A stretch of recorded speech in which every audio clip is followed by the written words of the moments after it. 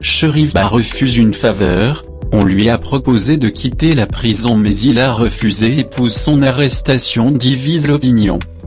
Compte tenu du service qu'il a rendu à la nation et de sa notoriété, ancien gouverneur de la BCRG pendant dix ans et enseignant à l'université de Conakry, Ibrahima Cherifba, arrêté au lendemain de la dernière présidentielle est accusé de détention et de fabrication d'armes.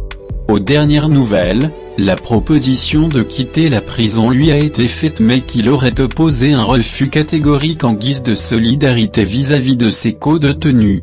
Interrogé par nos confrères de l'émission Africa 2015 sur Nostalgie FM de ce jeudi, l'épouse du prisonnier politique a confirmé l'information effectivement, il a un besoin de traitement et de sortir de là, et de refaire un traitement médical.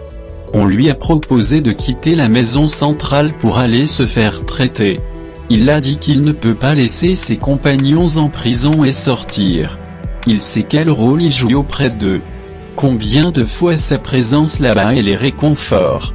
Parce que c'est le plus âgé, il a beaucoup plus d'expérience, il comprend bien les choses. Donc, il réussit un peu à remonter le moral des autres. Il constitue la base en famille.